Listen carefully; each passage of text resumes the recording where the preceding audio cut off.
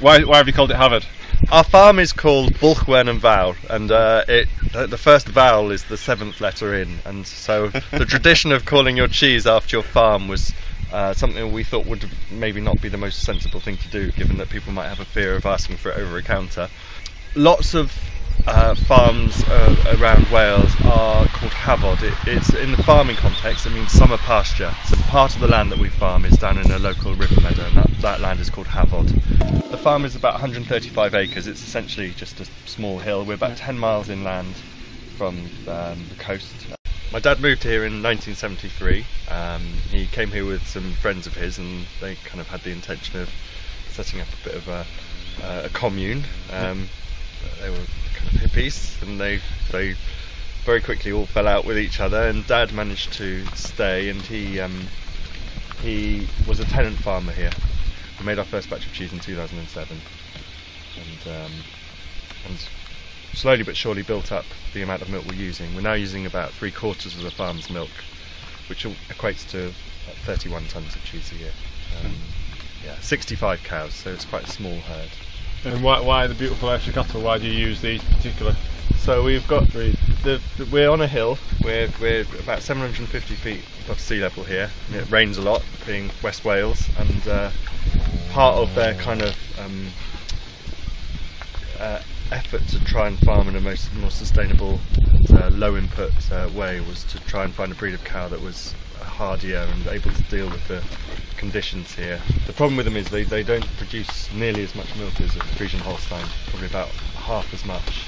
But they have got a really good reputation for cheese making, but uh, it's taken us a very long time to, to actually put that into practice. So we've looked back to some of the more traditional cheddar recipes, which would have been made from milk from native breeds and uh, had a higher fat content. And uh, it's very different from some of the Somerset cheeses, but we think in a, in a good way. We have actually got we've got um, a book um, which was written in 1917 by a lady called Dora Saker who wrote about um, good cheddar making practice at that time, and uh, it was it was a, really good starting point for us to um, to explore this old-fashioned recipe, this slower make and less temperature. Um, from that, the book is quite limited in the information and the language that's used needs a bit of interpretation. So the essence of what we're doing and the essence of the kind of the older cheddar recipes is that they use less heat mm. and they use less aggressive starter cultures, less less aggressive lactic acid bacteria. So everything happens a bit more slowly.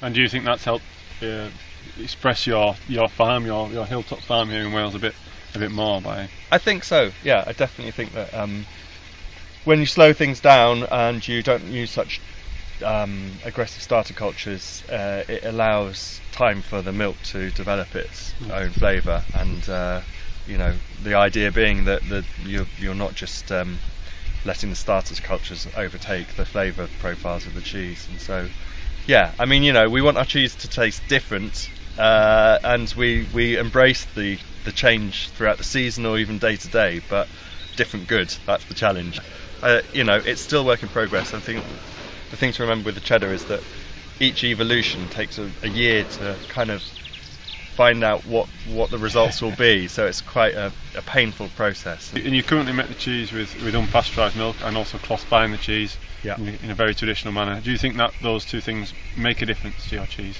Definitely, yeah, I do. I think that um, if you want to have a cheese that's truly expressive of the land, and you know, I think that um, ideally, it should be raw milk.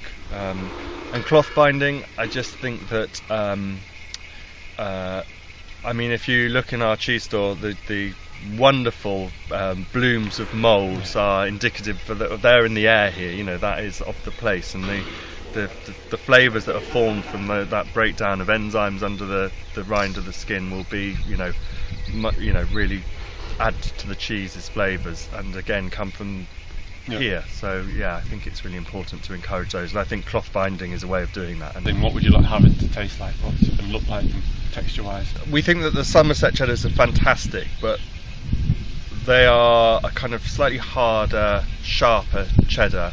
And we probably want to have a slightly, slightly more moist cheese that is quite mellow, rich, earthy, buttery, complex flavours. We really want it to have a lot to say, but not necessarily too loudly. So long flavours that really kind of express the milk, Yeah. um, uh, but really kind of focus on those buttery, yeah, lower, warm flavours that we love, and that's that's where we want it to That's be. Well, we've now gotten back here at the Courtyard Dairy, um, where we like to sell them about 14 months old.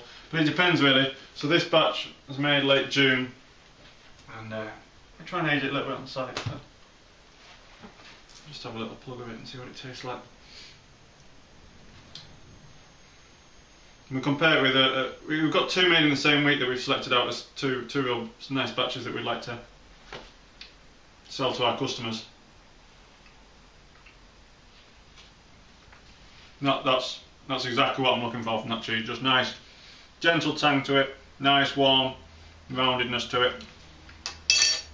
Just comes through really well. But we've got one here made just a couple of days earlier. Again, the batch that we've been down chosen on was one that we really really like.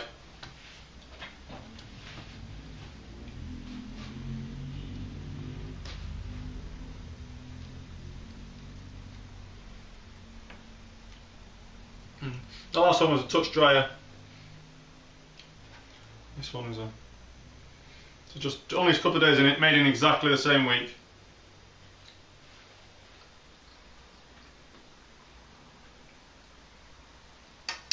That's really what I'm looking for. So, not not as tangy, not as upfront as the other one we had. Just a bit more warmer, a bit more rounded, a bit more full of flavour. Real nice long length of flavour. I'll still be tasting that when I'm driving home tonight.